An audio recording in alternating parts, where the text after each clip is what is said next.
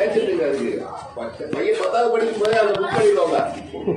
Plus two முடிஞ்சு அடுத்த வருஷம் தான் டாக்டர் சீட்டு கிடைக்கும். பத்தாவது படிக்கிற போது காலேஜ் சீட் புக் பண்ணிடுவாங்க. கிடைக்கவே கிடைக்காது சீட் எல்லாம். இந்த நீட் வந்ததுனால ஏழை பசங்களுக்கு கிடைக்குது. எல்லாம் கிடைக்காது.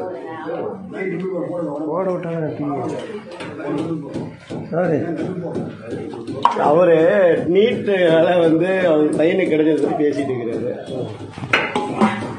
கை கையை கை. ஒட்டியா